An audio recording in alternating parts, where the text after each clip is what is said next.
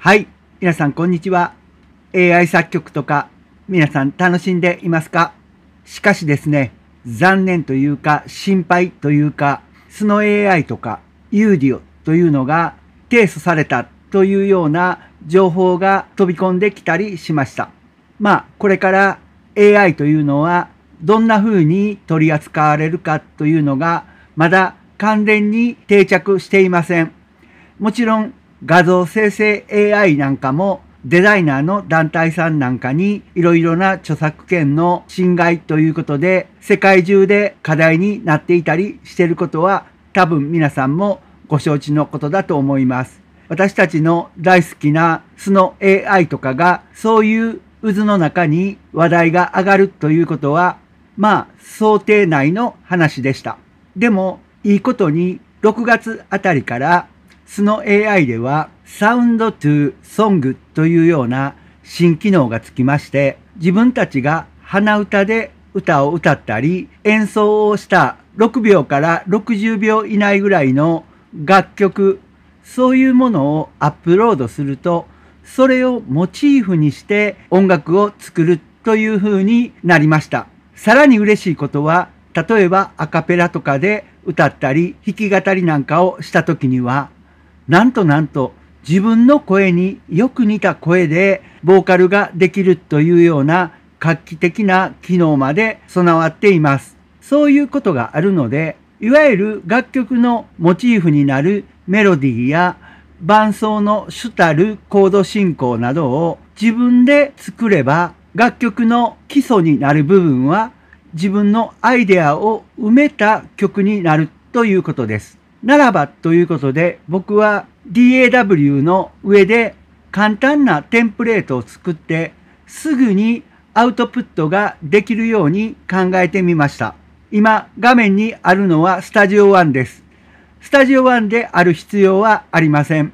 皆さんもよく似たテンプレートを作ってとっても簡単に自分なりのコード進行とかメロディーを書き出しできるようにすればすぐにクリエイトが始められるということになりますよね。例えば僕の一番上のトラックにはスケーラーというコードを指南してくれるソフトを入れています。開いてみます。例えば今スタジオ1の上のコードトラックに C、d マイナー、G、F という風になっています。今日は解説の時間の関係もあるので、全部を入れ替えたりということはしませんが、皆さんも応用を聞かして聞いてください。例えば、スケーラーとかでちょっと面白いコードを入れ替えてみましょう。スケーラーのこの部分。今日はスケーラーのことを覚えてもらう必要はありません。ここの部分を変えることによって下に並ぶコードが変わってきたりします。例えば、この d マイナーナインス。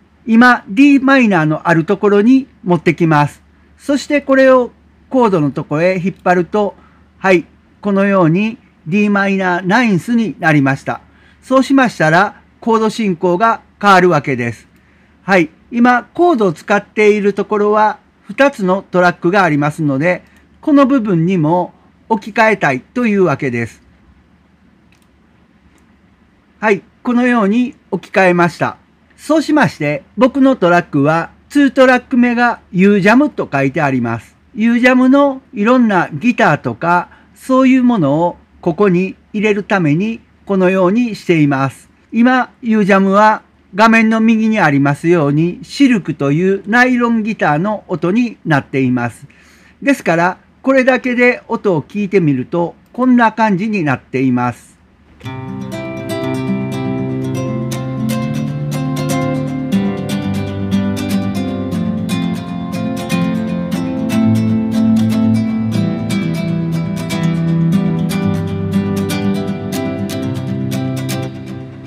はい、こんな感じです。何もスケーラーがないとできないわけではありません。スタジオ1のプロフェッショナルバージョンであれば、もしくは、まあ、 Cubase なんかでもそうですけれども、例えば上の今度は G のところですね。ここをダブルクリックすると、 Studio One 自身にそういう機能があって、これを G7 に切り替えたりすることもできます。切り替えたら、この G7 をまた下に引っ張ってきてセブンスに変えましょう。はい。こうしますと、ここが G7 になるわけです。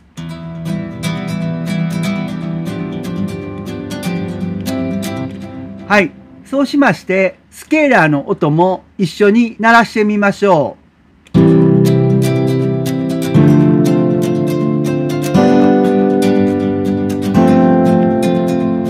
はい。スケーラーは全音符でジャーン、ジャーンとなっています。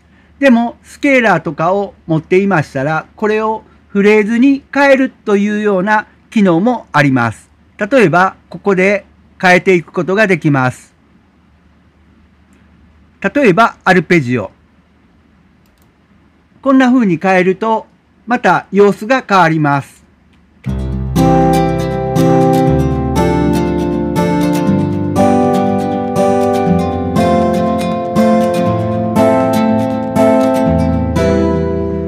はいこんな感じですね。ちょっとだけニュアンスが変わりました。何とも言えない簡単なアコースティックです。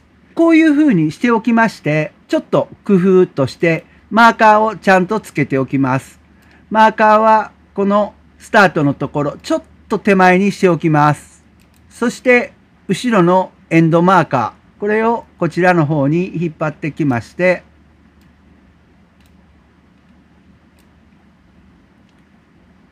はい。10小節のちょっと過ぎたところ、まあこのぐらいにしておきましょう。そうしまして、これを書き出しします。ソングからミックスダウン。そして、今ちょっと2まで作ってありましたが、M3 というふうな名前で WAV ファイル、そしてソングエンドマーカー。この部分でこれを書き出しします。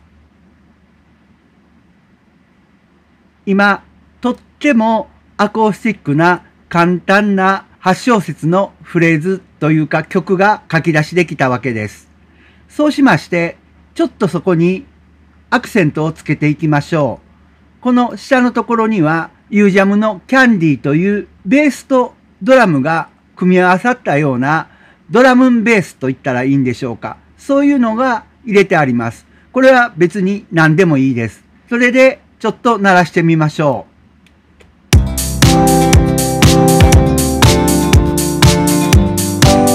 はい。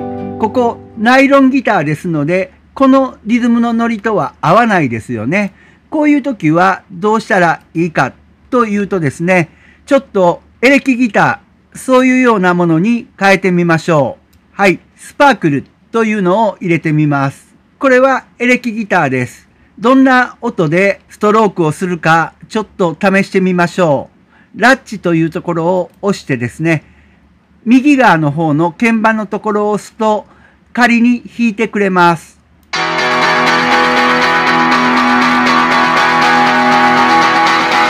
いろんなパターンを探してみましょう。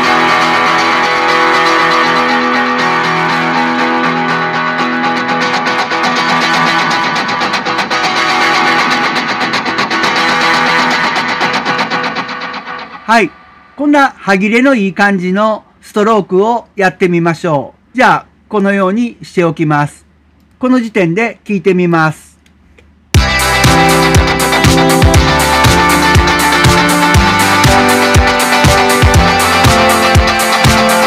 はい。こんなのでもいいし、まだおかずをつけたいと思えば、自分の得意なシンセサイダー、こういうのを入れておいて、今回僕の場合はエクスパンド2というのを入れてあるわけですけれども、いろいろ切り替えてみる。ちょっとここループにしながら雰囲気を見てみましょう。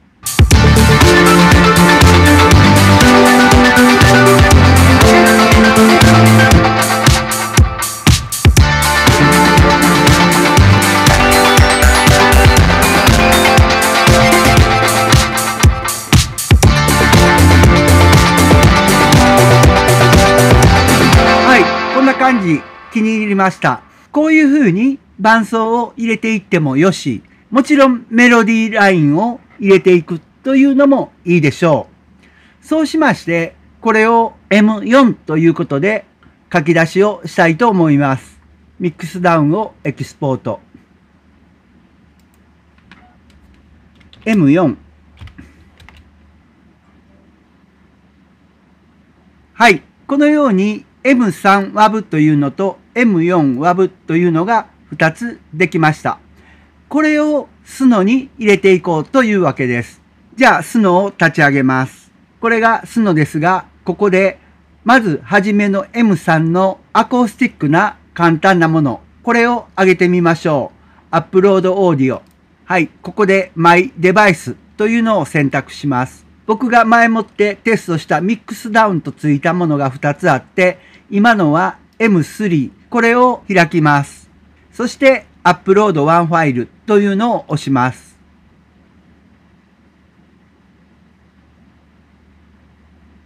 今で約30秒ぐらいかかりましたね。ここで Continue というのをします。はい、 Success というのが下に出ました。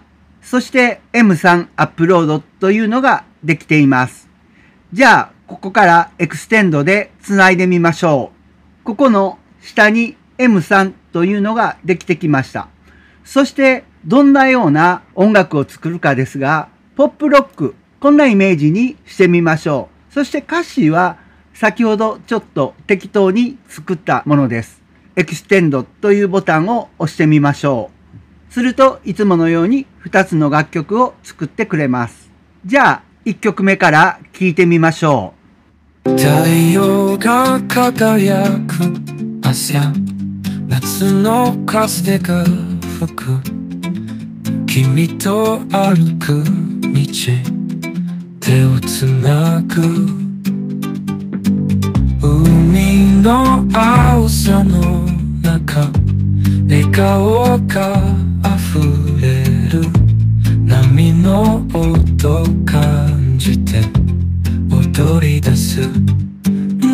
夏の色見つけたよ。君と一緒に。はいこんな風な感じで。先頭の方は僕が与えたものとほとんどよく似て、アコースティックギターだけで入りましたが、途中からは他の楽器なんかも追加して盛り上げてくれました。じゃあ次やってみましょう。太陽が輝く朝、夏の風が吹く。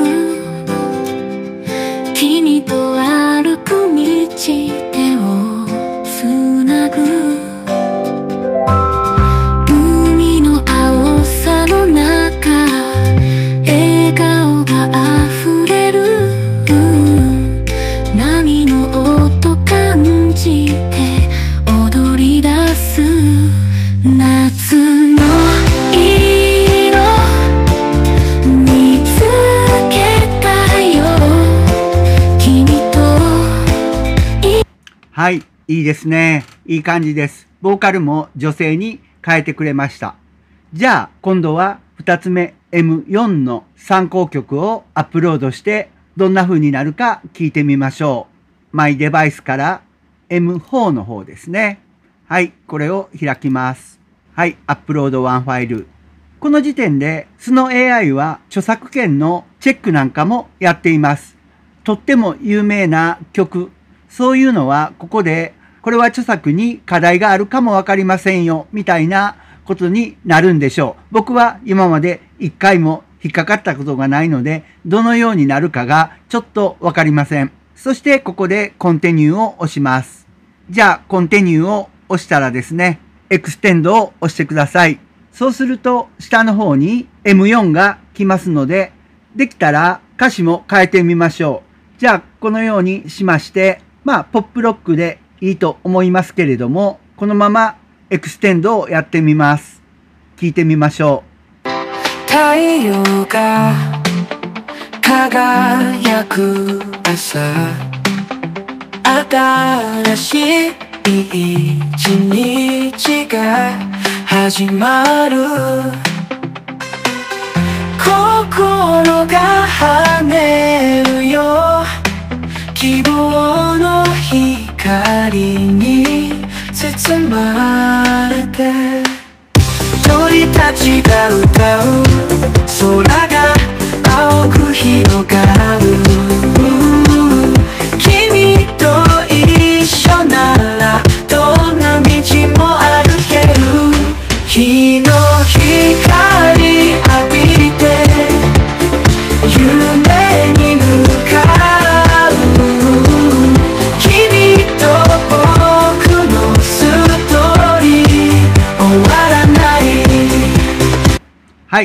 2曲目聴きましょう。太郎が輝く朝。新しい一日が始まる。心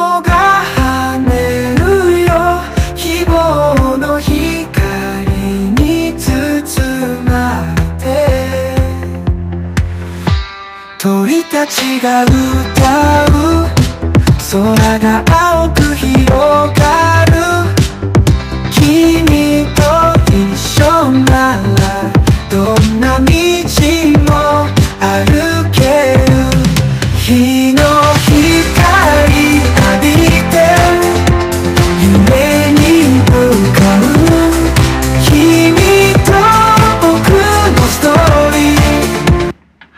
どうでしたでしょうか？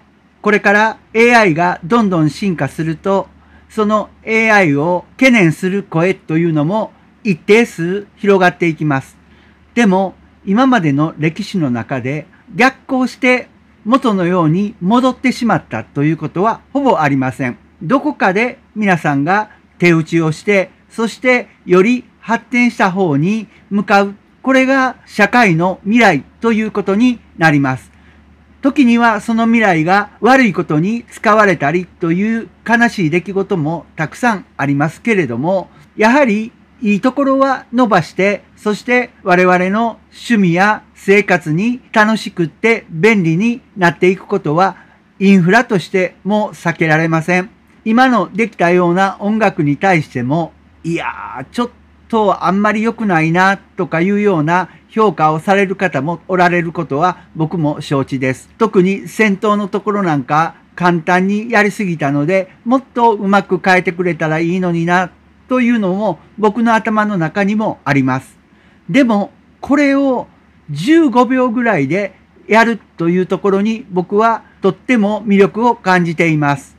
今までこれをやろうとしたらいくらこれ以下に作ったとしても2日や3日は完成までというのはかかりました。でもさらにこれにはメロディーをつけてコード進行に合うように歌を歌ってくれたりしてるわけです。そうなってくると2日や3日では済まないようなことが15秒ぐらいでそれも2曲できているわけです。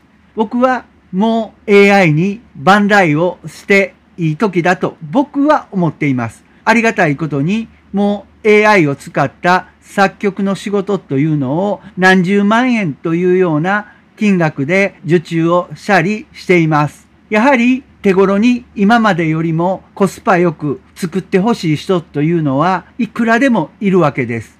個人的なことで言えば今までのような吟味して吟味して作り込んで1週間もかかったからということで5万円です10万円ですっていうよりも手頃な価格で子供のお誕生日ソングを作ってほしいペットの歌を作ってほしいそんな人は一定数絶対にいますし僕はもうそれが仕事になっています。AI を使った GPTs とかもそうですけれども早く取り組めば自分のなりわいの中にプラスしてやっていくこともできるこれが AI のいいところだと思います。